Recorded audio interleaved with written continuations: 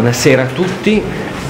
eh, mi presento in maniera molto rapida e molto sintetica, sono insegnante di materie letterarie latino e storia eh, nel liceo e appassionato di, di, storia, cultore di storia. È per questa ragione che ho raccolto molto volentieri la provocazione che mi è stata rivolta da Don Massimo di eh, presentare e eh, confrontarci insieme sulla figura di Papa Pio XI, una figura che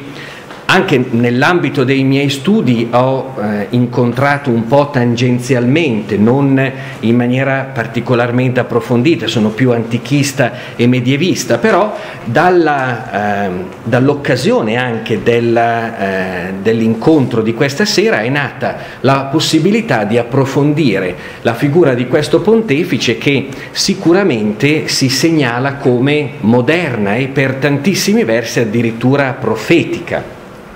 Innanzitutto è un, eh, la, io vorrei eh, dividere il, il momento della, della, mia conversazione con voi sostanzialmente in tre fasi, una cornice storica sul periodo in cui eh, Papa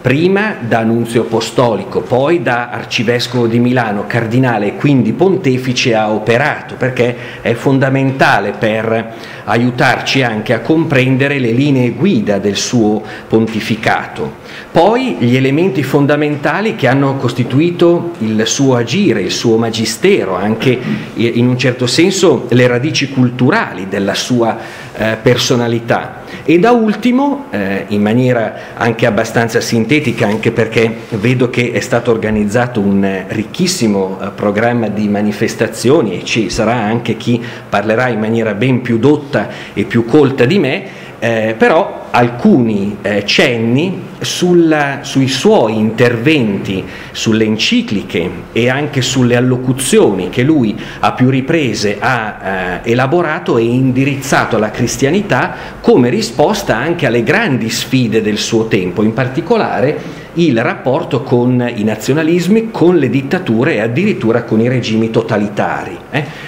Anche perché il suo pontificato, che si colloca tra il 1922 e il 1939, si, eh, si viene a, a, collocare in una fase delicatissima eh, nella storia della Chiesa contemporanea. Innanzitutto, come punto di partenza per comprendere le linee guida del suo, del suo magistero, dobbiamo sottolineare il fatto che l'Europa, l'Occidente erano reduci da quella che è stata definita la Grande Guerra, la Prima Guerra Mondiale, che alla fine del 1918 può dirsi conclusa e eh, può dirsi conclusa con una gigantesca quantità di macerie. No? Un grandissimo eh, filosofo italiano, Benedetto Croce, eh, disse che la conclusione del conflitto e soprattutto anche le paci, i trattati di pace, gli accordi di pace di Parigi, di Valenciennes, di Sèvres, eh, che ehm, conclusero di fatto il conflitto, posero in realtà le basi non per una pace duratura, ma per, un, per, i prodromi di un nuovo e ben più grave conflitto. Quindi una situazione di, eh, di, conclusione di un conflitto più per lo sfinimento dei belligeranti che non per il raggiungimento di un autentico equilibrio politico. Anzi, da questo punto di vista, nell'Europa degli anni venti noi possiamo notare come tutti gli equilibri che in un certo senso eh, durante tutta l'età moderna avevano eh, rappresentato eh, l'architrave dei sistemi di alleanza che nel bene o nel male, eccezione fatta magari per la parentesi napoleonica, avevano eh, garantito una forma di pace eh, abbastanza sostanziale all'Europa, Sicuramente, almeno dal 1815 al 1918, la famosa Santa Alleanza, ebbene questi equilibri erano, potevano dirsi ormai in frantumi, polverizzati. E polverizzati anche perché erano venute meno quelle potenze che di tali equilibri erano state garanti nella storia. Penso per esempio all'impero d'Austria oppure al, all'impero tedesco, ma anche all'impero russo e all'impero ottomano. Quattro eh, potenze territoriali che erano state alla base dei principali sistemi di alleanza, la triplice alleanza e la triplice intesa. Il fatto che questi stati fossero eh, stati smembrati, si fossero indeboliti eh, o addirittura, come nel caso della Russia, avessero cambiato completamente e drasticamente eh, sistema di governo. In Russia, a partire dal 1917, si afferma la prima grande dittatura totalitaria della storia moderna, se facciamo eccezione per la parentesi terribile del terrore durante la rivoluzione francese. No? quindi il, eh, il, periodo che va dal 1793 agli inizi del 1794. Però questo, eh, in Russia si era consolidato, ormai si chiamava Unione Sovietica, si era consolidato eh, il primo regime nei confronti del quale tra l'altro Papa Ratti, che eh, ben ebbe l'occasione di conoscere come nunzio apostolico in Polonia, eh, le caratteristiche salienti di tale dittatura che egli definiva intrinsecamente perversa, eh, come avrà modo poi di sviluppare, la riflessione che avrà modo di sviluppare nella famosa enciclica Divini Redemptoris, eh, era, rappresentava tale dittatura un sistema politico profondamente e eh, costitutivamente anticristiano. Quindi c'erano tanti fattori di eh, preoccupazione all'attenzione della diplomazia vaticana che tra l'altro non, è, non era nemmeno riconosciuta come protagonista sullo scacchiere politico europeo in quanto pagava sostanzialmente lo scotto di una rottura relazioni, delle relazioni diplomatiche con la Francia che datava dal 1905 e tra le altre cose anche l'ostracismo del nostro governo, del Regno d'Italia, che dopo il, la cosiddetta legge delle guarentigie del 1871 e sostanzialmente dopo la rottura conseguente alla conquista di Roma manu militari da parte eh, del Regno d'Italia nel 1870 aveva rotto ogni relazione con la sede apostolica. Quindi la Chiesa che era una istituzione che aveva una straordinaria esperienza di tipo diplomatico eh, nello scacchiere europeo. Ricordiamoci che la diplomazia moderna nacque con i nunzi apostolici, cioè con gli inviati del pontefice presso le principali corti europee, figura che inizia a segnalarsi almeno dal 1400. Quindi eh, la Chiesa si vide in un certo senso preclusa la possibilità di agire in maniera, venne per esempio esclusa anche dalla società delle nazioni, la, eh, potremmo definirla la forma embrionale dell'attuale ONU, no? eh, che è un'istituzione sovranazionale che avrebbe avuto come obiettivo quello di dirimere eh, con la pace, con eh, gli accordi diplomatici, con interventi di dissuasione eventuali occasioni di conflitto che si fossero presentate all'indomani degli accordi di pace ormai siglati. Quindi una eh, Santa Sede che pur a fronte dell'esperienza accumulata addirittura in secoli, era sostanzialmente ostracizzata, come vi dicevo, una eh, Santa Sede che era rappresentata da un pontefice come Benedetto XV, il pontefice che nominò eh, Achille Ratti, eh, prima eh, prefetto della Biblioteca Apostolica Vaticana, poi nunzio apostolico in Polonia, tra il 1919 e il 1921, quindi arcivescovo di Milano, cardinale e ponendo di fatto le premesse perché di lì a pochissimi mesi, alla morte del Papa avvenuta il 22 di gennaio del 1922, egli potesse subentrare dopo un travagliato conclave di diversi giorni eh, al soglio pontificio appunto come Pio XI. Dicevo che eh, la Chiesa si trovava di fronte alle macerie di un equilibrio europeo che avvertiva estremamente instabile, precario. Ricordiamo che eh, dalla disgregazione di imperi come l'Austria-Ungheria, come l'impero ottomano, la famigerata polveriera balcanica, la stessa eh, Russia, nacquero per esempio le repubbliche baltiche, eh, si svilupparono degli stati estremamente fragili, delle eh, democrazie anche neonate, con una classe dirigente estremamente impreparata per raccogliere eh, la sfida di un equilibrio tutto da costruire. Da una parte quindi una situazione estremamente instabile, dall'altra le potenze uscite sconfitte, la Germania, eh, la Repubblica di Weimar che ben presto arriverà a covare sentimenti di rivincita, di riscatto e eh, che verrà in un certo senso un po' dalla crisi economica, un po' dalla... Ehm, dall'isolamento nel quale eh, sarà in un certo senso condannata anche dall'atteggiamento delle potenze vincitrici, troverà una ragione di riscatto nell'affermazione assurda e pericolosissima di una superiorità etnico-razziale con il Reich hitleriano a partire dal 1933. Dall'altra parte abbiamo le potenze uscite vittoriose dalla, dalla guerra, la Francia e l'Inghilterra in primis, potenze con le quali la Santa Sede non aveva ancora relazioni diplomatiche, e l'Italia, il Regno d'Italia, che nonostante il mito della vittoria mutilata, cioè di una vittoria a metà, che non aveva eh, corrisposto la restituzione di altrettante terre considerate irredente, comunque era nei confronti della eh, sede apostolica almeno in questa fase, un nemico dichiarato, un oppositore. Eh, è in questa situazione estremamente delicata che eh, il, eh, il, pontefice Benedetto XV eh, designa Achille Ratti per la sua grande cultura, per la straordinaria versatilità anche nella conoscenza delle lingue,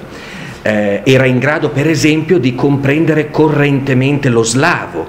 eh, lo invia come nunzio apostolico in Polonia, il primo eh, ambasciatore di uno Stato eh, straniero in Polonia, anche perché la Repubblica di Polonia era uno di quegli Stati sorto dalle ceneri degli imperi centrali di cui vi ho parlato in precedenza e nel corso di questa sua esperienza, anche dai risvolti estremamente coraggiosi, perché quando l'Armata Rossa arrivò nel 1900, nell'estate del 1920 a minacciare direttamente Varsavia, per rovesciare il regime repubblicano del maresciallo Piłsudski che si era consolidato nello Stato, eh, fu soltanto eh, il Monsignor Ratti a non abbandonare questo Stato al suo destino, ma a rimanere ad incoraggiare la popolazione alla resistenza. E nel corso di questo triennio di nunziatura apostolica egli ebbe modo di rendersi conto, lo dirà, lo lascerà scritto nelle memorie raccolte dal suo segretario particolare divenuto poi il cardinale Confalonieri, ebbe modo di verificare la pericolosità del comunismo bolscevico, hm? eh, sia in politica estera che soprattutto nella organizzazione interna della società che si andava delineando negli stati sovietici.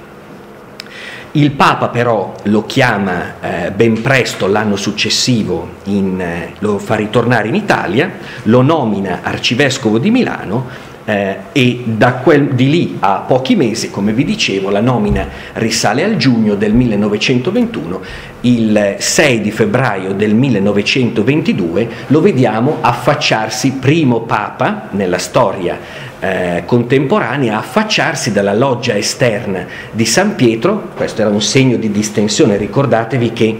eh, da Pio IX in avanti, dal 1870 in avanti, il Papa si considerava prigioniero in Vaticano. Eh, impartisce la benedizione urbi e torbi alla città e al mondo, come eh, da quel momento in poi si effettuava anche nel Medioevo, ma dal palazzo, dalla loggia del Palazzo Apostolico Lateranense. Da questo momento diventerà prassi dei pontefici rivolgersi alla folla e nel suo caso fu una semplice benedizione, naturalmente in latino. Eh, dal, ehm, da, già da Pio XII in avanti ci sarà anche l'occasione per una breve riflessione, una sorta di dialogo tra il pontefice neoeletto e la folla dei romani che idealmente rappresenta l'intera cristianità.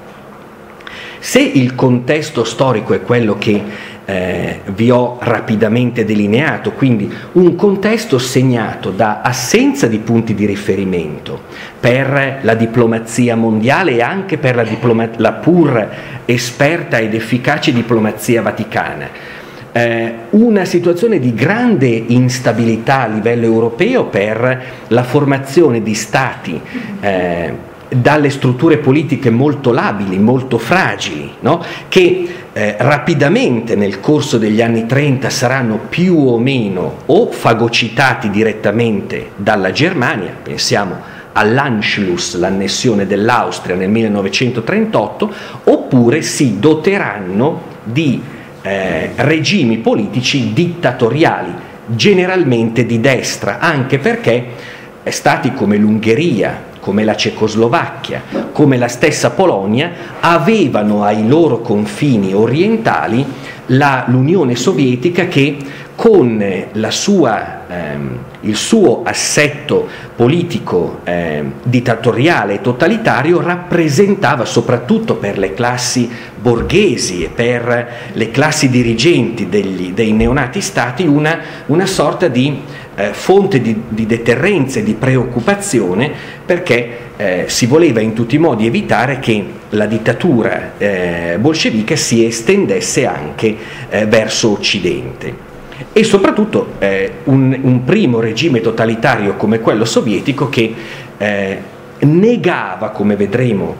più avanti, ipso facto la possibilità di una relazione eh, intima e fondante dell'uomo con Dio. Poneva la concezione come eh, Paparatti nell'enciclica Divini Redemptoris osserverà, ve ne leggerò un rapidissimo estratto anche per cedere ogni tanto la parola proprio a lui, lui individuerà eh, nella concezione marxista dell'homo economicus, cioè dell'uomo inteso come res, come materia, che nella sua vita risponde innanzitutto a sollecitazioni e a bisogni di natura economica. Per cui eh, il compito dello Stato è soddisfare questi bisogni e fare dell'uomo un ingranaggio della macchina sociale, eliminando eh, eh, situazioni di conflittualità che possono essere la lotta di classe, le differenziazioni sociali e fornendo, come dirà la studiosa Anna Arendt, la massima studiosa contemporanea dei totalitarismi, una ideologia, cioè una forma di pensiero onnicomprensiva e servendosi del terrore per incuterla in ogni uomo, hm? per eliminare qualsiasi opposizione interna, hm? avvalendosi anche del terzo elemento che è costitutivo di un regime totalitario che si chiama la propaganda. Allora, se questo è il contesto, eh, quali sono le caratteristiche di questo Papa? Io prenderei le mosse da, una, da un'affermazione provocatoria che risale al 1931 e che dobbiamo al duce Benito Mussolini che eh, sarà in un certo senso un interlocutore con il quale Paparatti dovrà misurarsi. Eh,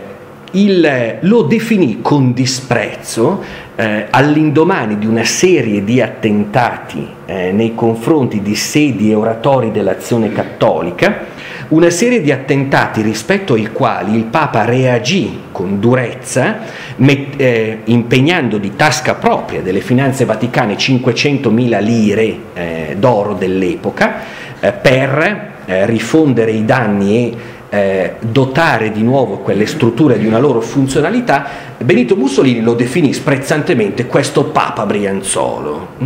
Come a dire un, un piccolo uomo, un piccolo pontefice. No? È un giudizio che tra l'altro è stato maldestramente anche recepito da certa storiografia, ahimè anche cattolica, eh, degli anni soprattutto 60, penso ad Arturo Carlo Iemolo, che vide nel governo di questo Papa uno, lo definì uno dei pontificati più grigi degli ultimi cento anni, ma con un giudizio probabilmente un po' ingeneroso. Eh? Il, eh, anche perché eh, rispetto a un Benedetto XV e a un Pio XII, cioè i papi che furono protagonisti di eventi epocali come eh, misurarsi con eh, la tragedia delle due guerre mondiali, questo Papa eh, si trovò nel mezzo collaboratore dell'uno e eh, in un certo senso colui che aveva individuato il genio di, eh, del futuro Papa Pacelli, del quale si servì come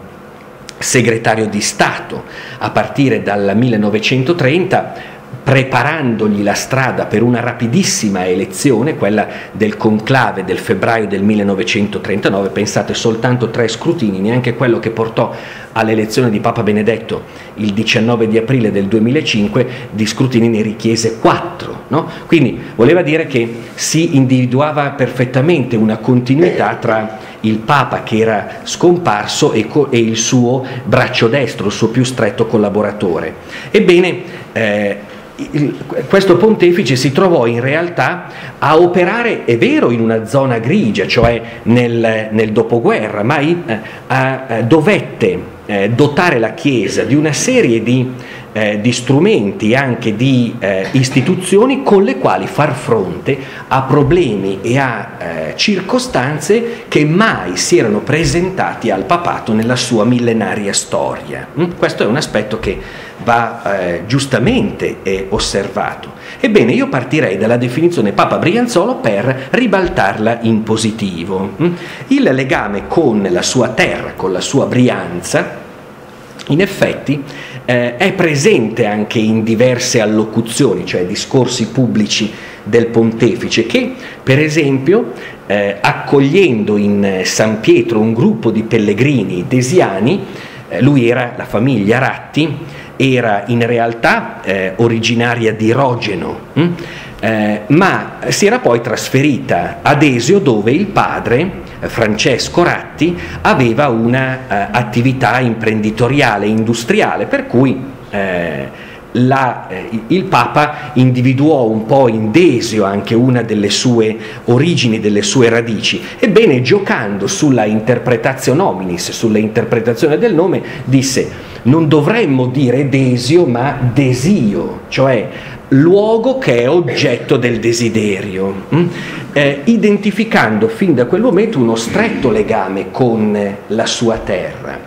Eh, il concetto di Brianza è un concetto lato a livello geografico, però sicuramente lo troviamo, troviamo il Monte Brianza attestato a più riprese nella visita pastorale di uno dei più grandi pastori della Chiesa ambrosiana e sicuramente colui che ha concorso a formare nelle comunità, a partire dal suo episcopato nel Cinquecento, nella seconda metà del Cinquecento, tra il 1566 e il 1584, parlo di San Carlo Borromeo, è sua, nel corso della sua visita apostolica che si parla anche della Brianza, un luogo che fu particolarmente caro alle cure eh, pastorali di questo vescovo che eh, si batté durante tutto il suo episcopato non solo per la ricezione eh, da parte delle chiese locali dei deliberati tridentini del Concilio di Trento,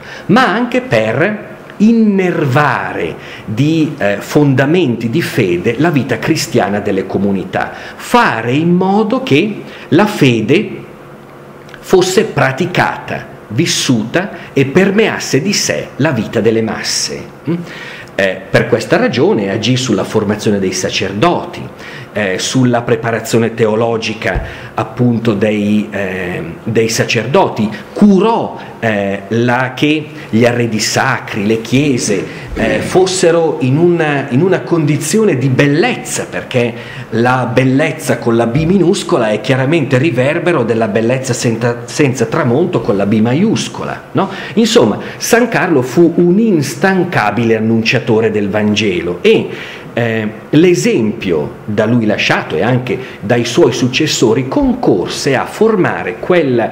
quell'humus culturale, religioso eh, che eh, ancora in due romanzi straordinari che possono essere anche posti in uno stretto legame tra di loro, I Promessi Sposi eh, del Manzoni e un altro romanzo che nella linea dei Promessi Sposi si viene a collocare, a mio avviso uno, il secondo più bello della nostra tradizione letteraria, che è Il Cavallo Rosso di un figlio della Brianza, Eugenio Corti, eh, sono, eh, abbiamo un ritratto perfetto di questo mondo e di questo sistema di valori, no? un mondo per, per, quale ragione il Manzoni aveva scelto di ambientare la storia eh, senza tempo di Renzo Lucia, eh, che lui considerava storia milanese scoperta e rifatta dal, del XVII secolo, scoperta e rifatta da Alessandro Manzoni con l'espediente dell'autografo, ma aveva scelto il Seicento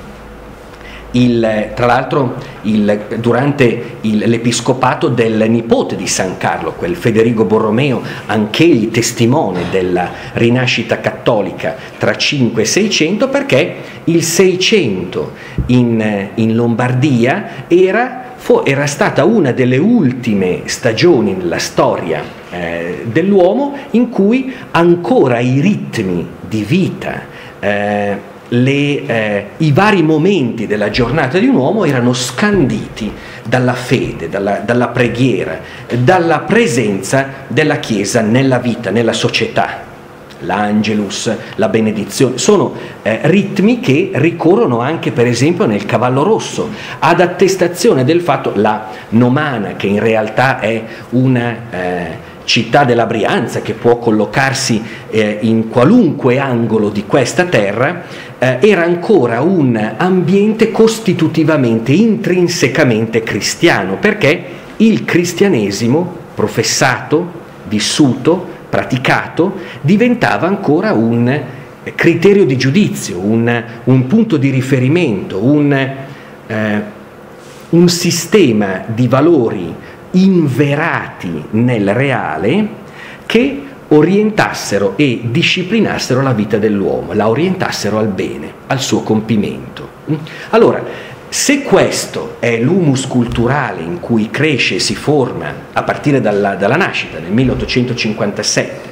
eh, il futuro Paparatti, quali caratteristiche rimangono del, nella sua personalità, nella sua indole, come lo stesso suo segretario particolare, vi dicevo il cardinale Confalonieri,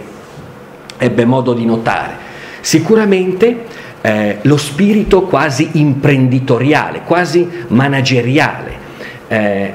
Paparatti sarà un costruttore non solo di chiese, di oratori, di sedi dell'azione cattolica, ma anche di istituzioni, istituzioni legate per esempio all'associazionismo cattolico, perché si rendeva conto che nel contesto di una società che cambiava, che si apriva ormai ai ritmi della rivoluzione industriale, fosse opportuno e necessario una presenza dei cattolici a significare una collaborazione tra le classi sociali non improntata a conflittualità ma a solidarietà, che è la variante cristiana della caritas, no? la virtù teologale, aiutare l'altro nel quale io riconosco il volto di Cristo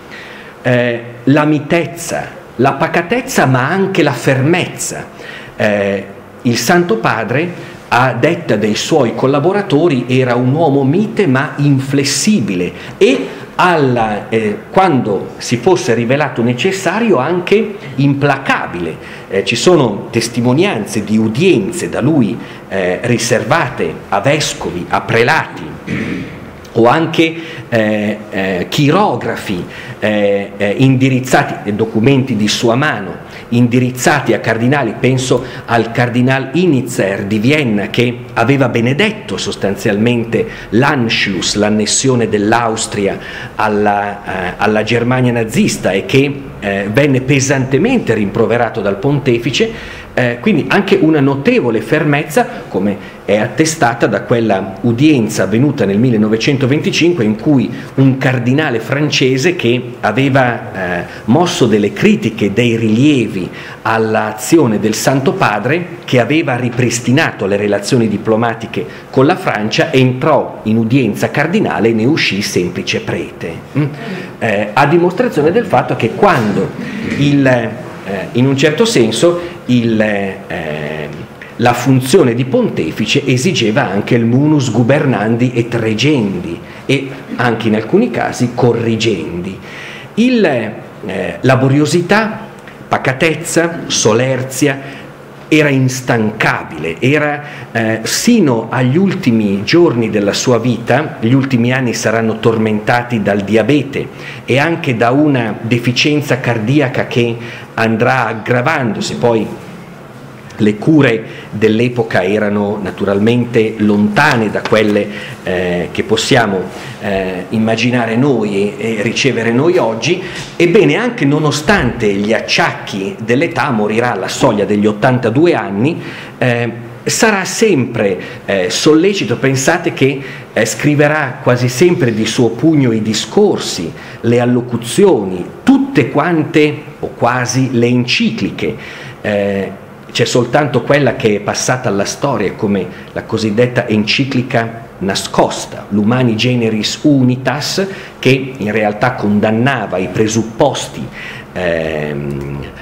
eh, i presupposti del, del, razzismo e dell'antisemitismo, un documento estremamente lucido che lui eh, affidò a tre padri gesuiti e che non vide poi la luce per, per la morte prematura del pontefice e anche per, eh, per il fatto che la sua successione coincise fondamentalmente con lo scoppio della seconda guerra mondiale. Ma l'altro elemento fondamentale è la sua straordinaria fede. Eh, la fede intesa, la fede, la pietas, intesa non come pratica devozionale, c'era naturalmente anche quella, era devotissimo al rosario, era devotissimo agli angeli custodi, no? quando eh, dava la eh, benedizione a chi lo avesse incontrato nel palazzo apostolico e alle udienze, non mancava mai di dire et angelus domini comitetur vobiscum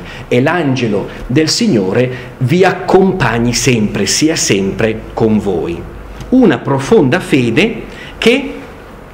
era eh, destinata nei suoi intendimenti necessariamente e intrinsecamente ad inverarsi nelle opere. C'è una sua riflessione molto bella che volevo eh, parteciparvi, è tratta da un, un suo discorso del 23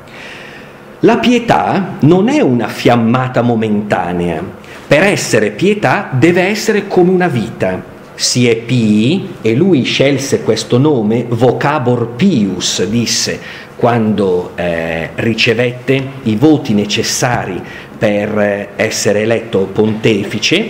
eh, proprio perché Pius era un nome che indicava eh, lo zelo nella diffusione della fede e anche il, la sua aspirazione alla pace. Si è pii come si è vivi. Essere pio è dunque provare di continuo il Dio presente in tutta la nostra umanità, un Dio che ci abbraccia eh, totalmente nei nostri limiti come nelle nostre qualità, contemplazione e azione, ragione e senso, volontà e sentimento. La religione non è un cassetto riservato nel casellario della vita, alla quale taluni pensano che solo in determinate occasioni, in determinati giorni e ore, si possa ricorrere utilmente. Sembra di sentire il Papa Benedetto. La religione deve invece abbracciare tutto l'uomo. La religione è reale rapporto di legame con Dio se si coglie concretamente nella vita, se si invera nella vita. E tra le altre cose,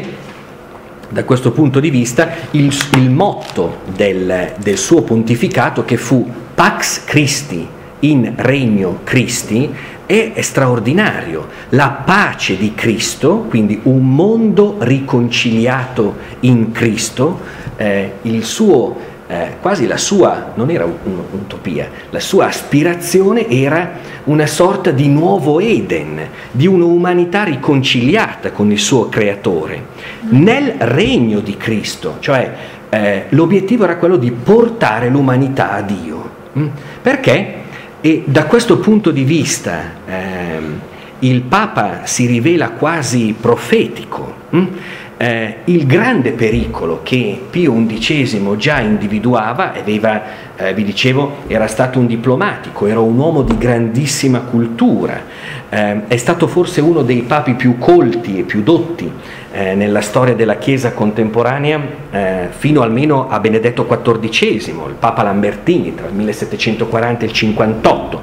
eh, un uomo che eh, aveva proprio il senso dell'umanità e si rendeva conto che il pericolo più grande per l'uomo contemporaneo era l'evaporazione del senso di Dio. Eh, no, l'espressione non è mia, è di un eh, antropologo e teologo cattolico, Julien Ries, che riceverà il 18 di eh, febbraio il cardinalato, la porpora cardinalizia, proprio per i suoi studi approfonditi sul eh, senso religioso dell'uomo da Papa Benedetto. Eh, il grande problema che questo pontefice incominciava ad individuare era il fatto che la fede, se non profondamente radicata nel cuore dell'uomo, nell'umano, alla fine piano piano diventasse come qualche cosa che si chiude in un cassetto riservato, che non incide nella vita, che corre per un'altra strada. La fede non si invera più nelle opere. Di qui per esempio, il grande impegno che egli profuse nella organizzazione, siamo già nel 1922, l'enciclica è forse la prima del suo pontificato, la Ubi Arcano, con la quale organizza l'azione cattolica. L'azione cattolica che per lui era quel laicato formato alla dottrina sociale della Chiesa, eh, la dottrina sociale della Chiesa, l'insieme dei documenti dei pontefici eh, con i quali la Chiesa interveniva nell'analisi delle dinamiche sociali e proponeva una sua visione alla luce del Vangelo e del Magistero dei Papi su quelli che dovevano essere i rapporti all'interno tra, delle classi sociali. Lo stesso Papa nel 1931 emanerà l'enciclica quadragesimo anno che si colloca 40 anni dopo la Rerum Novarum di Leone XIII del 1891, forse la prima vera enciclica con spessore sociale che fonda la dottrina sociale della Chiesa eh, contemporanea. Ebbene, l'azione cattolica era concepita dal Papa, lo dice anche il nome, come l'operatività di un laicato formato al magistero e rigidamente, saldamente guidato dal magistero, nella ecclesiologia di Pio XI la, eh, eh, la Chiesa ha questo volto gerarchico. Un volto gerarchico, sia ben chiaro, che non vuol dire obbedienza cieca ad una istituzione, ma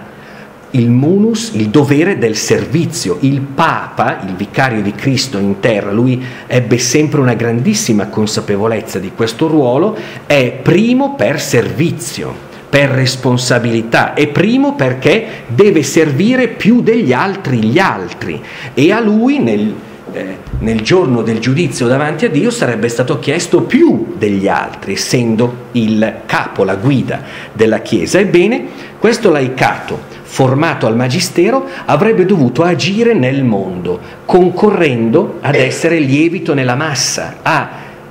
come era uno dei motti, una delle affermazioni frequenti di Papa Pio XI, ricondurre, richiamare l'uomo del suo tempo alla sua radice, che è quella di creatura. Parallelamente alla, agli sforzi eh, profusi per il rafforzamento dell'azione, dell'azione cattolica nel mondo, pe, nella, nella società, pensate che riuscì a ottenere anche dopo un duro scontro con Mussolini che solo l'azione cattolica eh, fosse dopo il 1931 riconosciuta come associazione libera e indipendente. Guardate che anche un provvedimento, una concessione importante come questa sarà uno degli elementi che farà sì che il nostro paese, il regime fascista, non possa in alcun modo essere paragonato alle altre dittature totalitarie che invece erano riuscite a eliminare all'interno dei rispettivi stati, l'Unione Sovietica e il Terzo Reich, qualsiasi tipo di opposizione. No? Uno dei fattori anche di fragilità e di debolezza intrinseca alla dittatura fascista in Italia sarà proprio quella di avere una opposizione riconosciuta. Hm? Non tanto nella monarchia che cambierà posizione nel momento in cui si incominceranno a intravedere le crepe nel soffitto dell'edificio dello Stato, quanto proprio nella presenza di un laicato cattolico di opposizione. Le altre due gli altri due elementi, le altre due eh, istituzioni al centro della preoccupazione pastorale di Pio XI saranno la parrocchia e la famiglia, anche in questo figlio della Brianza. La parrocchia, cioè il sacerdote, alter Christus. La parrocchia come eh, presenza capillare pervasiva nella società eh, della Chiesa universale la parrocchia come luogo in cui attraverso i sacramenti l'uomo si santifica, scopre la sua chiamata, la sua vocazione. C'è una riflessione molto bella che volevo leggervi sulla responsabilità e sulla figura proprio del sacerdote. Una delle pagine, eh, una pagina molto bella, una riflessione interessantissima che eh, lascia intendere eh, la responsabilità e anche eh, il compito che egli individuava nel sacerdote. Il cardinale Confalonieri, il suo segretario, disse che sarebbe stato un parroco straordinario ed era diventato il parroco della Chiesa universale. Dice, si può dire che in ogni ora importante della sua vita il cristiano veda al suo fianco il sacerdote. Egli nasce e il sacerdote lo fa rinascere nel battesimo, ad una vita più nobile e più preziosa, qual è la vita soprannaturale, per cui diventa figlio di Dio e della Chiesa. Per renderlo più valoroso nei combattimenti spirituali, un sacerdote rivestito di speciale dignità lo costituisce soldato di Cristo nella Cresima Appena è capace di discernere e di apprezzare il pane degli angeli disceso dal cielo, il sacerdote lo nutre e lo ristora con questo cibo vivo e vivificante. Se è caduto in peccato, il sacerdote lo rialza e lo rafforza nel sacramento della penitenza, nel nome e con l'autorità di Dio. Se Dio lo chiama a formarsi una famiglia e a collaborare con Lui a trasmettere il dono della vita umana, per così aumentare prima il numero dei fedeli sulla terra e poi quello degli eletti nel cielo, il sacerdote è là in qualità di testimone qualificato della Chiesa per benedire le sue nozze e il suo casto amore. Casti Conubii sarà tra l'altro la bellissima enciclica che egli ehm, ehm, promulgherà sulla santità del matrimonio e sulla sacralità della famiglia. E quando il cristiano, giunto alla soglia dell'eternità, ha estremo bisogno di forza e di coraggio per comparire davanti al giudice divino, il sacerdote si china ripetutamente sulle membra doloranti del moribondo e lo purifica e lo solleva con l'olio santo. Raggiunta ormai l'eternità, il sacerdote non lo abbandona ancora se l'anima ha bisogno di espiare, egli corre in aiuto con la preghiera di suffragio. No? È, sembra di leggere, di ascoltare eh, le munizioni che San Carlo indirizzava ai suoi sacerdoti, no? eh, nel tentativo, siamo quasi quattro secoli prima, di richiamare al sacerdote, se qualcuno di voi ha letto I Promessi Sposi ricorderà la figura del Don Abbondio Manzoniano, che era abbastanza lontano da questa immagine, richiamare però il sacerdote al suo compito, eh, il, il, compito di essere alter Christus, un testimone, un altro Cristo, colui che, come diceva il santo curato d'Ars, poteva essere impuro, immondo, anche peccatore, ma nel momento in cui consacrava faceva scendere Cristo, il Signore, sulla terra, sulla mensa eucaristica. Allora, la figura della parrocchia, la figura del sacerdote, la famiglia. La famiglia fu l'altro ambito che ricevette eh, l'altro ambito di presenza della Chiesa eh, nella società che ricevette le cure, l'attenzione eh, di Papa Pio XI, che anche perché vedeva la famiglia minacciata eh, da una eh, ideologia secolari- secolarizzatrice che sostanzialmente tendeva a scardinare i presupposti religiosi e spirituali, eh, l'ancoraggio evangelico di questa cellula della società. E all'interno della famiglia egli in particolare si soffermava sulla figura della madre, della donna, madre, sposa e madre. La donna come eh, nel volto della quale, che, eh, che, nel suo agire, nel suo compito e nella sua missione avrebbe dovuto riconoscere nella Vergine Maria, eh, nella Madre di Dio per eccellenza, il suo modello, il suo esempio, eh, la figura della donna come colei che eh, ha diretto contatto tanto del marito quanto dei figli, e in una celebre allocuzione a diverse coppie di sposi egli si augurava, il Papa si augurava che le famiglie fossero feconde, che accettassero con grandissima generosità il, il dono eh, di tanti figli, eh, la madre, la, la, donna era colei che avrebbe potuto rappresentare un punto di equilibrio fondamentale all'interno della famiglia, eh, avendo pensavo probabilmente anche alla propria madre, eh, un ruolo di educatrice, di educatrice alla fede eh, per i figli e anche di eh, eh, colei che condivideva con il marito il cammino verso la santità nella vocazione coniugale.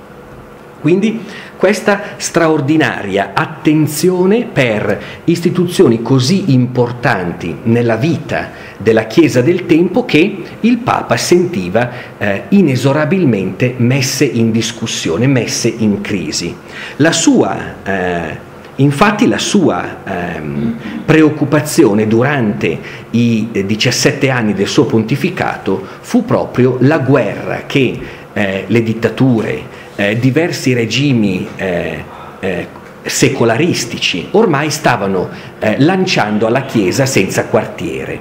Eh, il Papa durante il suo pontificato arrivò addirittura a indire ben tre anni santi, nel 1925, nel 1929 e nel 1933, anni di redenzione. Erano, l'anno santo, eh, come sappiamo, è è quel periodo di grazia, quell'anno di grazia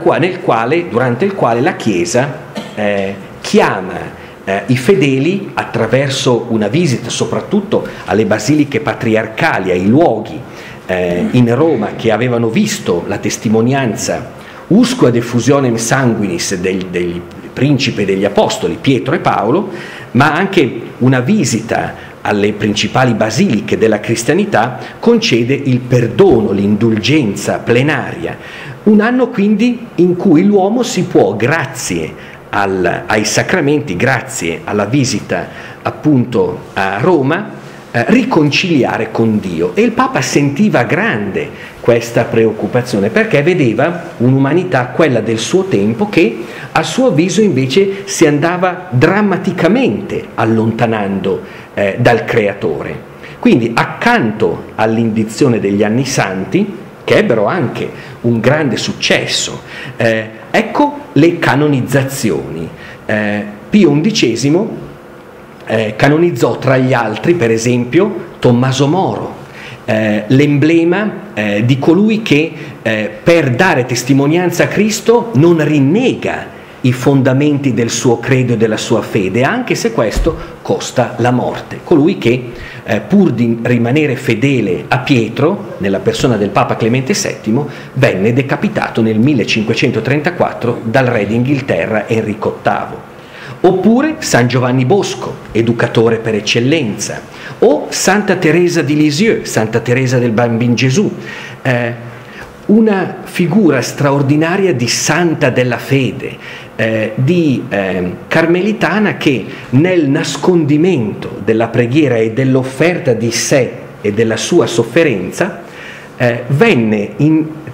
con la preghiera e con la sofferenza che egli offriva per, eh, per il progresso della Chiesa e dell'evangelizzazione anche nelle terre che non avevano ancora conosciuto Cristo, le terre di missione, che il Papa riconobbe proprio come patrona delle missioni. È straordinario se pensiamo ad una donna, ad una religiosa che non si allontanò mai dal Carmelo di Lisieux. Ma questo dice anche della grande libertà di questo Papa nel proporre alla Chiesa dei modelli, dei modelli, come si diceva prima, di fede che diventa comportamento, che diventa vita, che si invera, no? che concorre a trasformare e a cambiare la società cambiare la società facendola diventare il Regnum Christi, quello che era un po' il suo motto. Da questo punto di vista, quindi la preoccupazione anche della, nei confronti della ininfluenza della fede nella vita, sembra, è incredibile l'analogia con eh, il messaggio altrettanto profetico del Papa Benedetto, di Papa Benedetto XVI, che eh, eh, da una parte con l'indizione dell'anno della fede che eh, prende avvio proprio quest'anno, nel 2012, eh, come ha sancito nel motu proprio Porta Fidei, dall'altro quindi un anno nel quale, in occasione della ricorrenza dell'anniversario del Concilio Vaticano II, il Papa chiama tutta la Chiesa, ma anche coloro che sono alla ricerca eh, gli uomini che avvertono la domanda di senso nella loro vita, eh, li chiama a riflettere sul dono grande della fede, su che cosa voglia dire la fede per un cristiano o per chi la sta cercando. E poi il, l'altra geniale intuizione che risale al 2010, la creazione del Dicastero, 2011 scusate, il Dicastero per la nuova evangelizzazione, affidato a Monsignor Fisichella, un Dicastero eh, destinato a aggiornare ai tempi le modalità con la quale nei paesi di antica evangelizzazione riproporre l'annuncio di Cristo. Eh, c'è una straordinaria continuità nel magistero di questi due pontefici ed è evidente che eh, quello di Pio XI possa avere davvero una valenza profetica. E eh, mi piaceva anche eh, terminare la nostra riflessione con, una, con uno sguardo sulla sua azione concreta negli anni del suo pontificato, perché eh, Paparatti fu anche un diplomatico, fu anche un uomo di Stato, aveva tra le altre cose un altissimo concetto della sua funzione. Eh, della sua funzione di vicario di Cristo. Dice in una allocuzione rivolta proprio tra l'altro a dei cardinali francesi. La Chiesa francese, eh, almeno da, eh, diede parecchio filo da torcere anche a un, altro, a un Papa comasco, il Beato Innocenzo XI, perché per sua tradizione, per una tradizione che risale niente meno che al concordato di Bourges, del 1453 si sentiva più legata quasi alla corona che non allo stesso pontefice e ai vescovi francesi lui ricorda quando si tratta del vicario di Gesù Cristo, del Papa, con qualunque nome egli si chiami ed un qualunque tempo egli vive, viva, si tratta ancora e sempre di Gesù Cristo. No? Eh, il senso grandissimo e altissimo che aveva della sua missione era quello, eh, il, il vicario di Cristo rappresentava Cristo sulla terra, non c'era, non c'era altra possibilità, aveva una responsabilità altissima eh, nell'ambito della vita della Chiesa e del mondo. Fu un pontefice pragmatico, anche in questo forse affiora il suo spirito brianzolo. Pragmatico perché? Cercò in tutti i modi i negoziati laddove fosse eh, possibile permettere alla Chiesa di operare nella società, per richiamarla al Signore. Eh, arrivare anche a soluzioni di compromesso laddove fosse riconosciuto alla Chiesa uno spazio di azione. Mm? Naturalmente un compromesso che non avrebbe, eh, sto sforando l'ora, chiedo, posso ancora? Mm, grazie, dieci minuti riusciamo. Eh, fosse messa nelle condizioni di dare testimonianza a Cristo senza deflettere dai principi non negoziabili. Ecco allora il concordato, l'accordo del 1924, la Maximam Gravissimamque, una enciclica che chiudeva di fatto l'annosa questione della separazione tra Stato e Chiesa, quindi la rottura delle relazioni diplomatiche tra la Santa Sede e la Francia, che era sempre stata, per antica tradizione, la figlia primogenita della Chiesa, siccome suo, uno dei suoi re leggendari, Clodoveo, leggendario perché il suo nome si perde nella notte dei tempi, essendo stato re dal 481 al 511, quindi parliamo di diversi secoli addietro, però era stato il primo re a essersi convertito al cattolicesimo avendone ricevuto il battesimo. Quindi la, la, figlia primogenita della Chiesa era la nazione che per prima aveva rotto le relazioni con la Chiesa stessa. Sì, il Papa, anche per dare in questo grande Stato cattolico all'istituzione ecclesiastica la possibilità di essere pervasiva e presente nella società, arrivò ad un accordo anche delicato con eh, lo Stato francese al fine di limitare gli effetti di una separazione totale che avrebbe per esempio impedito alla Chiesa di gestire delle eh, scuole, delle istituzioni legate alla trasmissione dei valori della fede alle nuove generazioni. Abbiamo poi nel 1929, l'11 di febbraio, i patti lateranensi, quell'accordo, quel concordato con lo Stato italiano, nella persona di Mussolini, il Papa era rappresentato dal Cardinal Gasparri, il suo segretario di Stato, che chiudeva la cosiddetta questione romana, cioè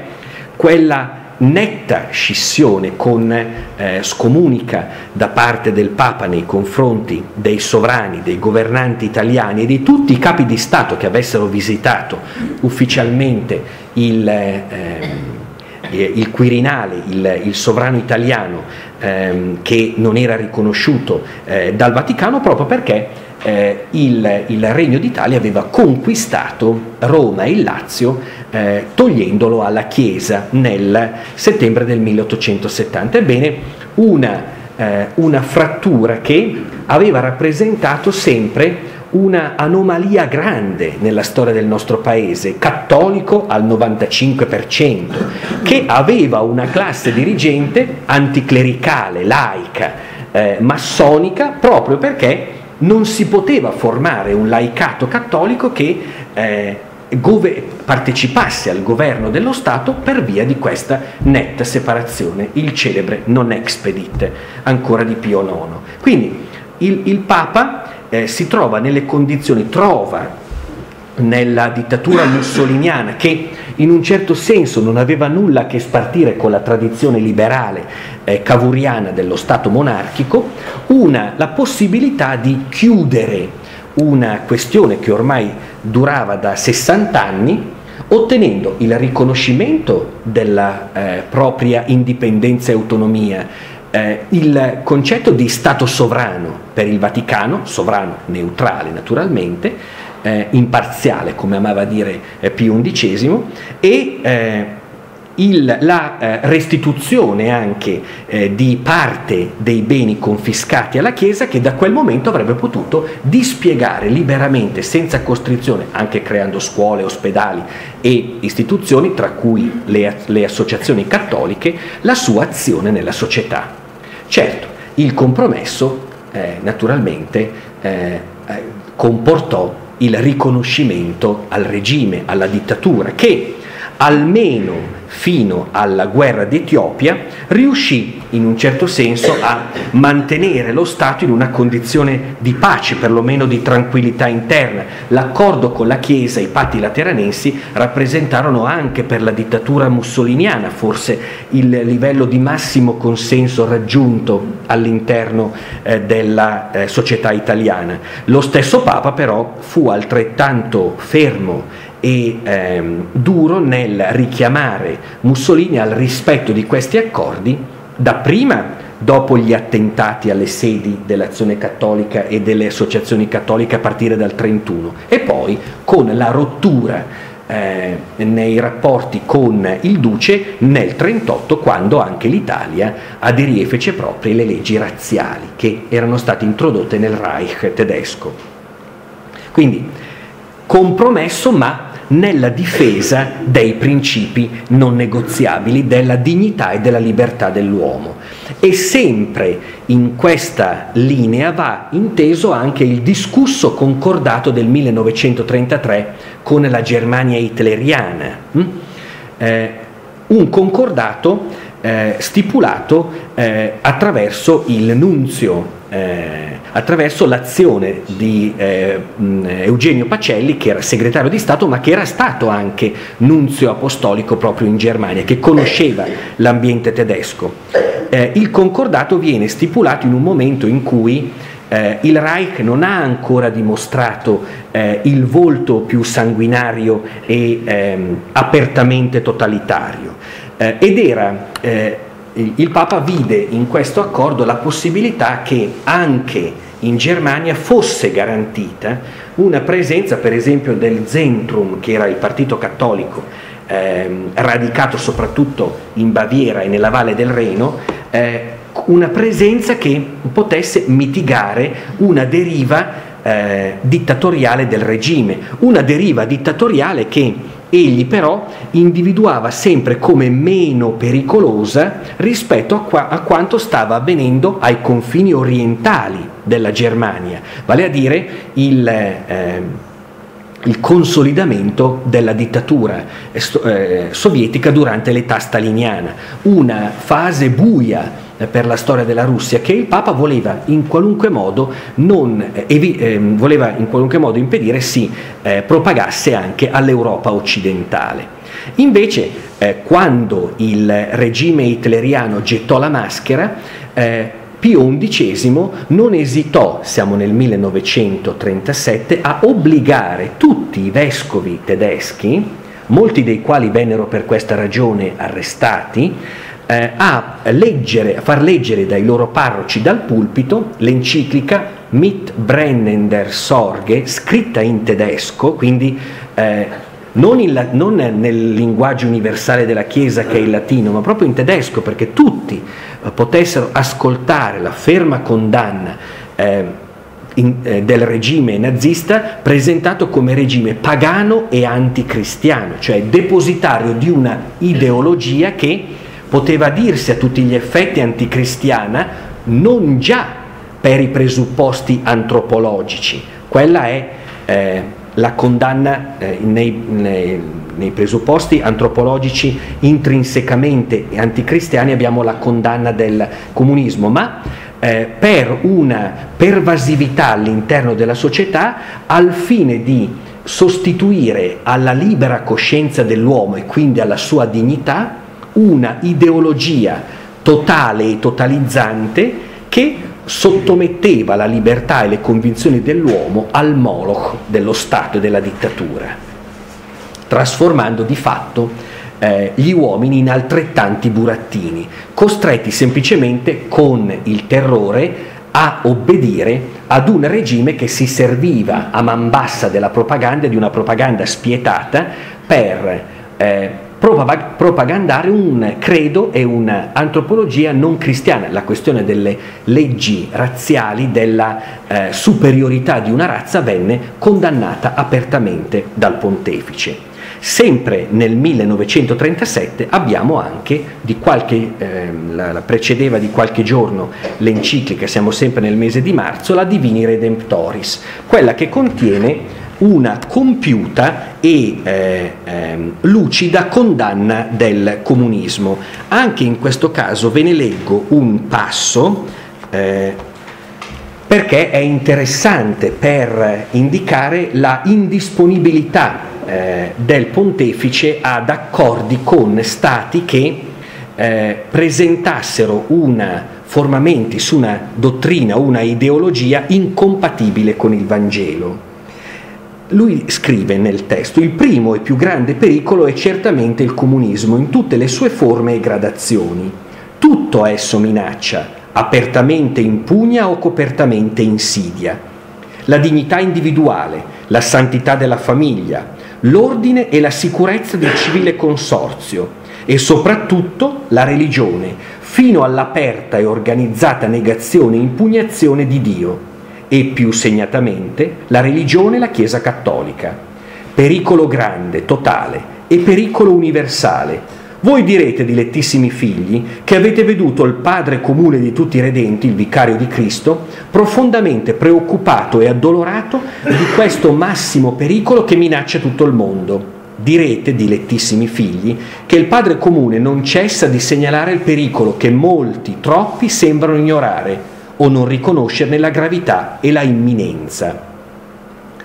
anche da questo punto di vista sarebbe stato profetico, perché quello che avvenne dopo il 1945, eh, quindi l'estensione del regime delle dittature eh, totalitarie di eh, orientamento comunista nei paesi di quello che sarebbe diventato il patto di Varsavia, sta ad attestarlo.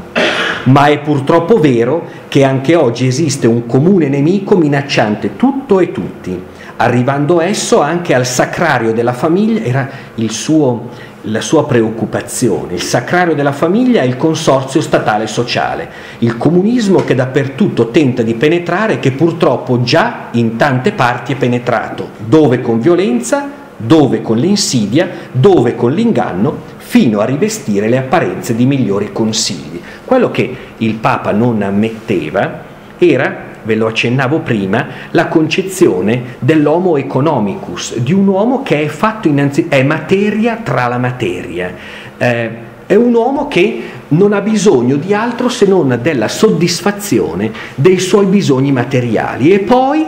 può essere inquadrato tranquillamente in una struttura di Stato che nega alla radice, la, siccome ha una dottrina eh, che tutto permea di sé e tutto spiega,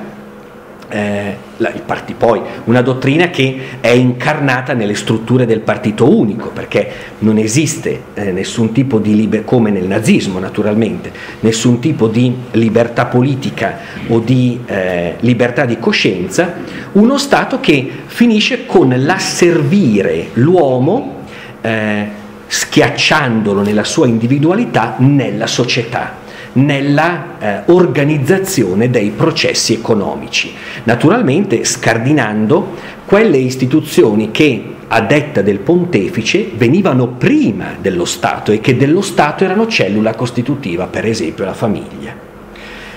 L'altro grande ambito, eh, vi accorgerete che sono state tantissime le insidie e anche i pericoli per la vita della Chiesa e dell'umanità con, quali, con i quali questo Papa si dovette misurare, l'altro fu quello dell'affermazione di regimi apertamente anticlericali. Penso al Messico massonico degli anni venti e soprattutto alla Spagna repubblicana, alla, a quella pagina estremamente buia della storia di Spagna che il Papa aveva ben presente, se già nella bolla eh, dilectissima nobis del eh, 1933 si rivolgeva all'episcopato spagnolo che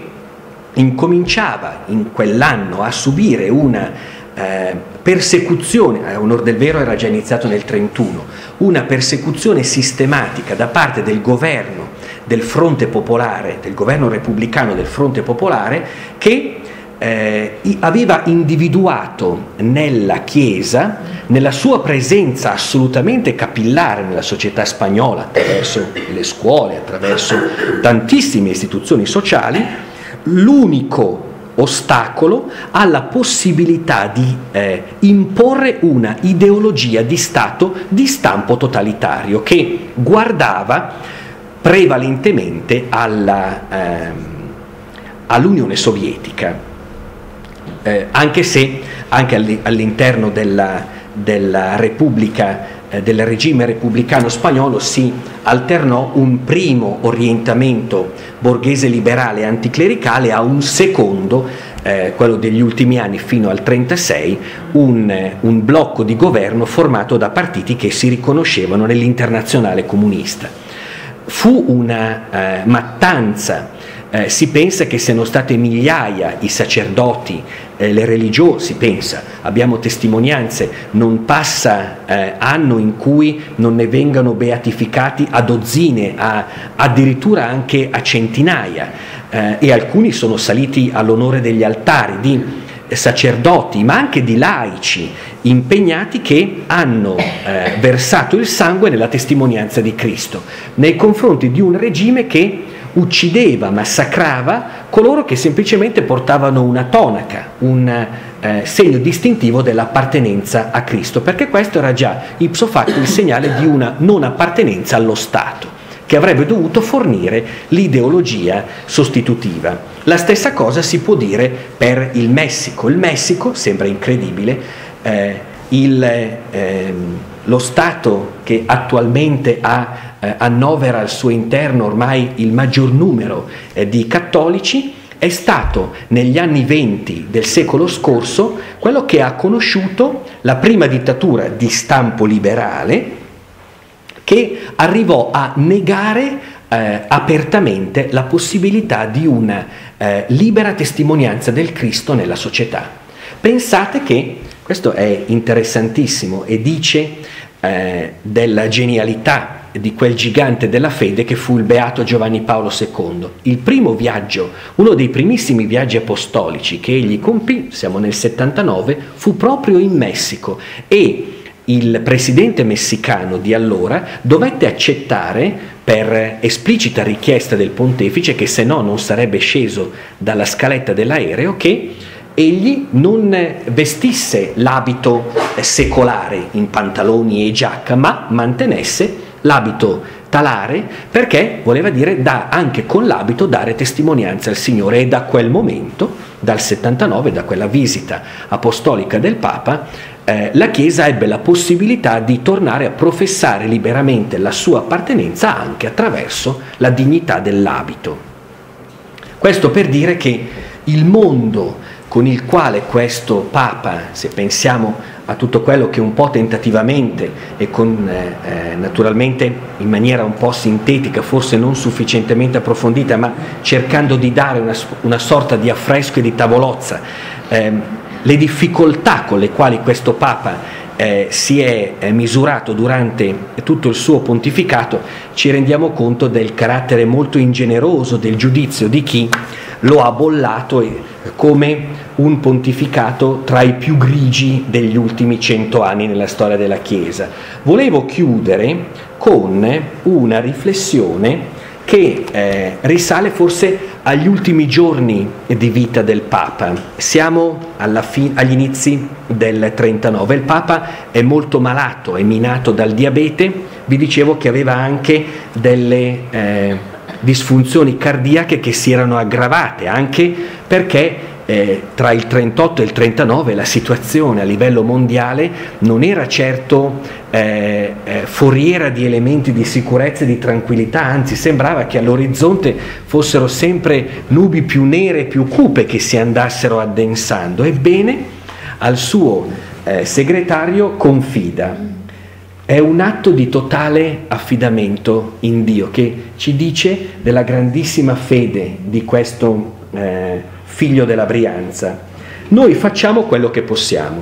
il Signore fa quello che vuole. Quando noi abbiamo fatto quello che potevamo e dovevamo fare, non dobbiamo preoccuparci del resto. Sa il Signore ciò che deve fare e, state certi, lo sa fare bene.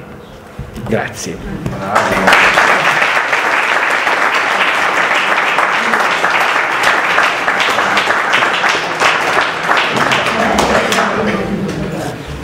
Due domande Cominciano ora. Prima, eh, quella Grazie. enciclica o comunque quel testo che doveva, doveva eh, pubblicare e che aveva pubblicato per la sua malattia, ma forse per una prudenza eh, politico-diplomatica di chi gli era vicino e poi gli succederà a Pacelli. Questo testo c'è lui non lo ha pubblicato,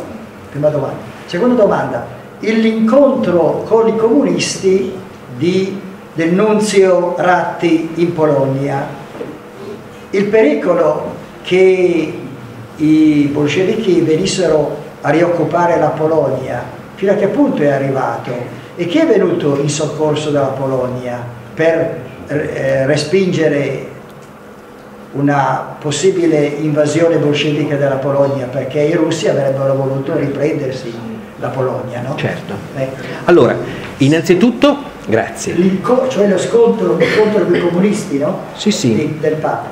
eh, del Papa. Prima parto dalla eh, Umani Generi Unitas, la, eh, l'enciclica, quella che i francesi chiamano l'encyclique cachée, anche eh, perché cachet, eh, esattamente. Eh, era, eh, è un testo che è stato pubblicato nel 72, è, al, ehm, eh, è agli atti, è nella, lo si può consultare, eh, consta di ehm, adesso non ricordo il numero di capitoli, però è un testo composito e articolato e racchiude una riflessione molto lucida portata avanti, vi dicevo, da tre padri gesuiti, soprattutto il padre Lafarge, che era americano, ma che eh, venne eh, visionata dal Papa, che però non riuscì a dare l'ultima lettura perché eh, i capitoli finali eh, sfuggirono alla sua attenzione perché era ormai molto malato e minato dalla, dalla malattia. È un testo che eh, eh, ebbe anche l'approvazione del suo successore, di Papa Pacelli, che come lei ha detto, eh, prudentemente eh, scelse, lo ha eh, indicato bene il vaticanista Tornielli, in una serie di pubblicazioni anche recenti sulla figura di questo Papa che ha sempre goduto di una stampa controversa, no? ha sempre scelto, anche nella eh, constatazione della eh, impossibilità di un'azione energica in un territorio come la Germania, dove ormai lo Stato aveva ridotto al silenzio, forse eccezione fatta per quelle aree che erano rimaste intrinsecamente cattoliche, no? si può pensare alla Münster del cardinale von Galen che è stato proprio beatificato recentemente, il leone di Münster, o alla Baviera, però eh, erano talmente eh, tanto pervasive le, ehm, le, strutture del Reich tedesco che eh, era davvero velleitaria, eh, era davvero velleitaria eh, la possibilità di immaginare una eh, resistenza e anche una contrapposizione che portasse a risultati concreti. Il Papa preferì sempre, abbiamo diversi suoi chirografi rivolti ai vescovi, ai nunzi e in Italia poi ne diede testimonianza lui stesso, per nascondere attraverso le istituzioni eh, religiose quanti più ebrei fosse stato possibile nascondere però è un documento che non ha mai visto la pubblicazione ufficiale, no? è agli atti e nell'archivio vaticano, è consultabile, ne è stata ehm, data una pubblicazione per i tipi del surf francese, quindi è tradotto in francese, ma non, eh, io lo, l'avevo consultato appunto in lingua francese. Per quello che la, la seconda domanda molto interessante, eh, vale a dire come eh, venne arginata la minaccia eh, dell'espansionismo bolscevico eh, comunista in Occidente, mm, una minaccia che, lo ricordava sempre il beato Giovanni Paolo II, eh, quando la prima volta visitò il suo paese da Papa e arrivò in, pa- in piazza Piłsudski, perché eh, questo maresciallo, un uomo anche estremamente energico, un grande generale, eh, riuscì, pensate, nell'arco di pochissimi mesi, la Polonia non esisteva eh, fino al 1918, o meglio, esisteva come tradizione culturale, era stata poi alla fine smembrata definitivamente. Se pensiamo che fu fino almeno al 1738 lo Stato più esteso dell'Europa, anche più dell'impero d'Austria, hm? Eh, ed era stata protagonista eh, il suo re Giovanni III Sobieski nel 1683 della fermata della, dell'avanzata ottomana nei confronti dell'Europa, era stata smembrata tra i suoi potenti vicini ed era rimasta comunque unita, almeno a livello culturale, proprio grazie alla tradizione della Chiesa. Ebbene, eh, il eh, maresciallo Piłsudski riuscì tra il 18 e il 20 anche con la collaborazione dello stesso Nunzio che lo incoraggiò e gli garantì l'appoggio della Santa Sede, credo anche finanziariamente, a organizzare un esercito, un esercito fondato sempre sul nervo eh, della cavalleria polacca, quella cavalleria che era stata il fiore all'occhiello degli schieramenti polacchi nei secoli precedenti e che tragicamente verrà schierata ancora il primo di settembre del 39 contro i carri armati Panzer ehm, hitleriani che eh, in accordo con eh, quelli sovietici, no? perché poi le dittature sono sempre simili, no? si spartirono lo Stato, no? il patto Molotov-Ribbentrop. Il, da una parte l'abilità strategica di questo generale, dall'altra eh, venne favorito dalla, dall'insorgere di un movimento controrivoluzionario, la cosiddetta Armata Bianca, all'interno dei, dei, territori dell'Unione Sovietica. Anche eh, l'URSS in quegli anni si andava organizzando perché eh, la Russia era uscita con eh, l'armistizio di Brest-Litovsk del 17 dalla Prima Guerra Mondiale, eh, di fatto eh, il eh, governo comunista si era dato un suo assetto nel 1918, ma era ancora profondamente lacerato tra quanti ritenevano che ci dovesse essere la rivoluzione in un unico Stato, che poi diventeranno maggioritari, e chi invece riteneva che la rivoluzione dovesse essere esportata in tutta Europa per poter trionfare. No? Si era capito che laddove ci fosse stato un antagonista eh, di un regime comunista, questo avrebbe rappresentato ipso facto un modello di Stato competitivo con, eh, con quello sovietico. Tra l'altro questa armata bianca che si contrapponeva all'armata rossa di Trotsky eh, venne appoggiato per esempio dagli inglesi eh, con finanziamenti e anche con truppe. Eh, ci fu la grande rivolta dei cosacchi che si opponevano alla collettivizzazione delle terre. Ci furono cioè tutta una serie di fattori interni che concorsero ad indebolire l'avanzata eh, russa e a, a eh, scongiurare la, ehm, la, caduta della Polonia, almeno in, eh, in quel periodo, nella, eh, nelle spire della dittatura comunista. Dittatura che non dimenticò, come l'eccidio di Katyn sta eh, tragicamente a dimostrare, no? i 22.000 ufficiali dell'esercito polacco che vennero eh, massacrati con una, una, revolverata alla tempia nelle fosse di Katyn che vennero poi fatte passare eh, come eh, un eccidio di marca di matrice nazista, mentre invece eh, erano, erano, state eh, un atto proprio di vendetta nei confronti di un esercito e di un, un esercito che era, aveva sempre incarnato nella storia la fierezza di un popolo, la sua indipendenza, la sua indisponibilità a finire eh, sotto una dittatura. E qui la storia sarebbe stata diversa se la contrarietà, la controffensiva contro la rivoluzione bolscevica che voleva invadere tutta l'Europa non si fosse fermata in Polonia, ma fosse entrata in aiuto ai cosacchi e avesse sconfitto la dittatura comunista. Allora la storia d'Europa sarebbe stata diversa. Ma ancora una volta ci viene in aiuto il Croce che ci dice che la storia non si fa con i sé e con i ma. Croce, Vediamo se ci sono altre domande di ma qui, ma qui eternizza ciò che è eterno non è, ma è, ma è storico. Va bene. Eh, Volevo chiederle questo, lei ha posto l'accento sul, su, eh, sul, significato che aveva esaltato il, il, Papa nei concetti di famiglia, nei concetti dell'associazionismo cattolico, eccetera, cioè rivalutando quelli che erano e che sono stati da allora poi considerati i soggetti intermedi all'interno certo. della società che si sviluppavano tra il singolo e lo Stato può eh, provare a, magari a sviluppare il concetto di sussidiarietà che eh, proprio alla luce anche del rapporto che ebbe il Papa nei confronti dello Stato. Sì, eh, teniamo presente che lo Stato, eh, quello che noi definiamo lo Stato italiano in quegli anni, è, un, eh, è un'istituzione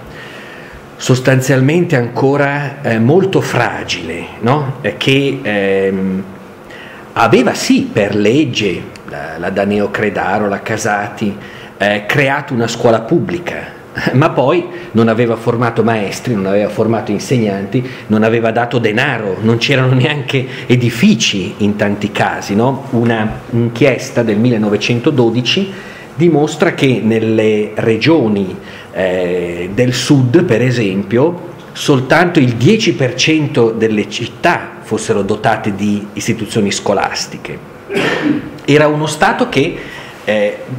non eh, sapeva quasi che cosa fossero degli ospedali, eh, delle case di cura. No? Pertanto eh, era eh, una istituzione che stava faticosamente tentando di eh, organizzare anche una sua presenza pervasiva all'interno della società. E eh, il Papa si rendeva conto che la grande risorsa eh, della Chiesa sarà anche questo, tra l'altro, a indurlo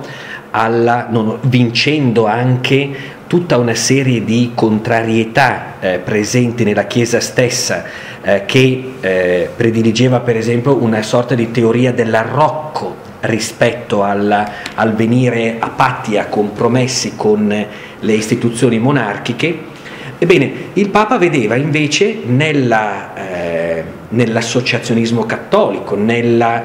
eh, nella, presenza di tutti quegli ordini, quelle congregazioni che eh, avevano sempre eh, mantenuto viva per esempio la presenza dell'istruzione cattolica,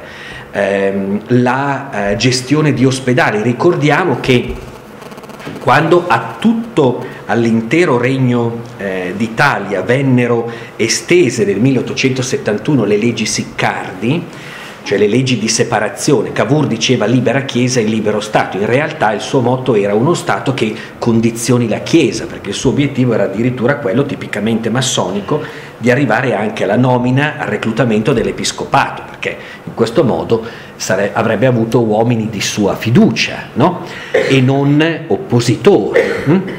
Un, per esempio un, eh, un personaggio che eh, inculcò anche una sana diffidenza nei confronti dello Stato e delle sue istituzioni fu il cardinale Nazari di Calabiana, che tra l'altro veniva anche proprio in villeggiatura ad Asso. Eh,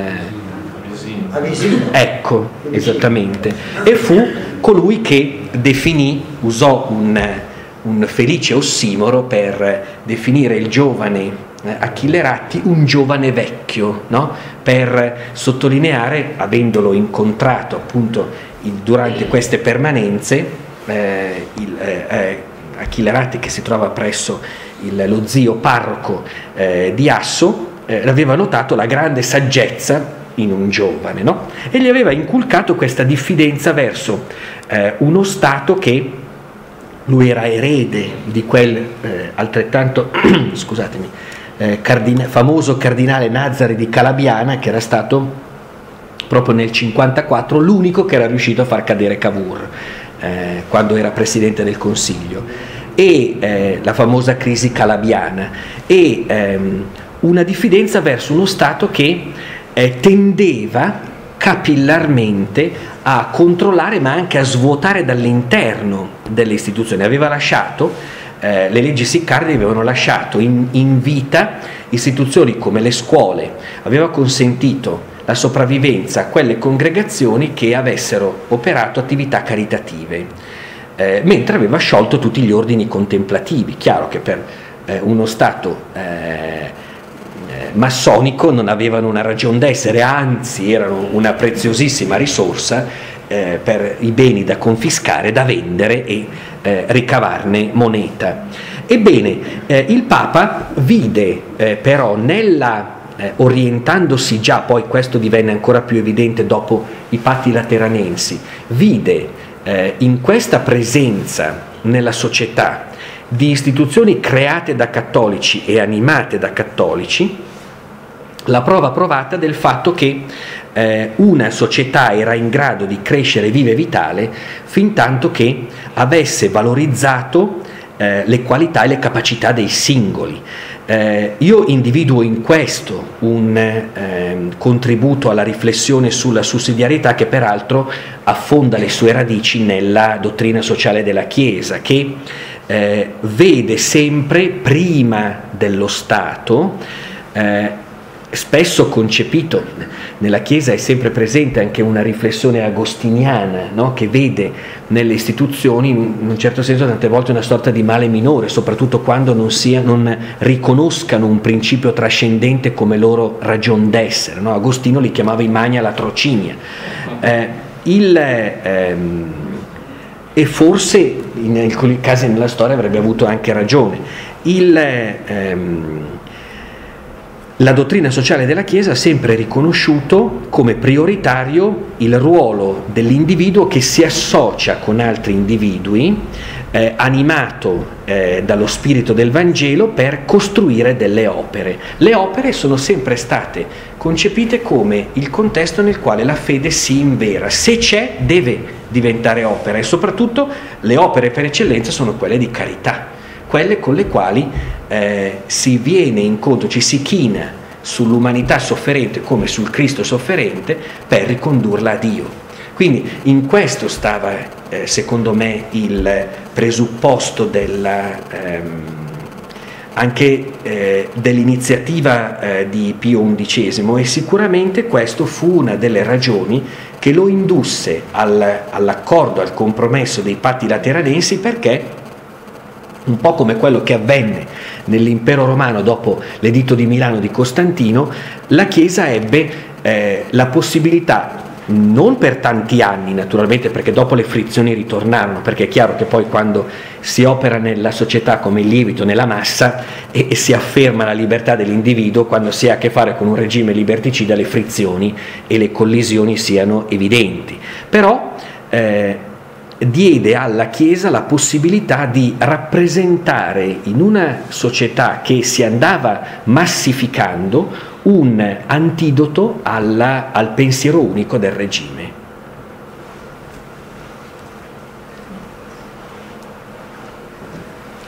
L'ora si è fatta tarda. No. Va bene. Certo io, sono stato molto, io sono stato molto colpito da dalla citazione sui parroci, sono un parroco, no? no, penso che sia stata presa da, ad cattolici sacerdoti. Esatto. Che ho letto per intero perché è molto bella. Però dopo tutta la riflessione che lui fino a 62 anni in realtà, a parte quei mesi in cui ha fatto il cogliutore qui a Barni, lui in parrocchia non c'è mai stato. No? Mm. E noi parroci siamo sempre contro un po' i nostri superiori che non hanno mai visto la vita parrocchiale, però comandano, fanno le idee allora, io la mia riflessione è questa, perché continuo a sentire, ah, questo Papa non mi piace, era meglio il Papa Voitiva. Io stasera ho imparato che cioè,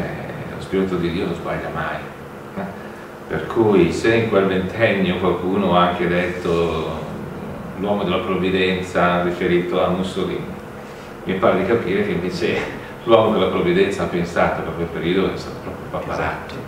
perché parte tutti questi, primo Papa che ha fatto, il primo Papa che ha fatto, proprio nella, nella lettura che lei ha saputo sapientemente dare, penso proprio che meno male che c'è stato Papa Ratti in quei 17 anni di pontificato. È una lettura troppo spiritualoide questa, oppure educa a smetterla di dire questo Papa non mi piace, il Papa Voltiera era più bravo, ma se abbiamo Papa Ratzinger adesso perché è il Papa che ci vuole in questo momento, penso. No, no, lei ha sintetizzato perfettamente quello che, ma lo sa meglio di me, eh, è l'azione della provvidenza nel mondo, no? probabilmente anche la provvidenza che, senza che lui sia stato mai parroco, eh, gli ha dato una tale lucidità di, di, spirito e di pensiero per riconoscere nella sua profonda conoscenza dell'uomo e dell'umano anche il ruolo straordinario no? di questa di questa figura. Quello che, eh, che colpisce tantissimo eh, di lui, anche della sua umanità schietta, e che ho imparato, ve lo confesso anch'io, eh, approfondendo proprio per la nostra conversazione di questa sera il suo pensiero, è quell'atto di affidamento totale eh, che può essere anche eh, un atto di grande umiltà. Hm? Eh, Dante lo avrebbe definito il grande antidoto contro la superbia, no? essere grandi nell'umiltà, cioè riconoscere di essere eh, creati. Hm? E eh, lui soleva ripetere agli uomini che incontrava che aveva un, un principio che lo aveva sempre condotto nella, nella, sua vita, che era quello che trovava sintetizzato in una riflessione del santo curato d'Ars, mettersi nelle mani di Dio, perché sono le migliori, no? Quindi è quello che lo ha mosso nel suo agire. Poi quel Brianzolo, eh? il Brianzolo ha salvato, ha, salvato, ha, operato magnificamente nella Chiesa per il mondo di allora, i Brianzoli, formati cristianamente e molto attivi, devono continuare ad aiutare la società, a cominciare dall'Italia, i Brianzoli. Ecco, possiamo concludere qui. Ringraziamo tantissimo il professore. Beati i suoi alunni, perché io che ho fatto il liceo classico. Un attimo, un attimo per piacere, un attimo che devo dire due cosette. Il mio professore di liceo praticamente, che era dirigente di, di stampo comunista, diceva leggete da pagina a pagina e basta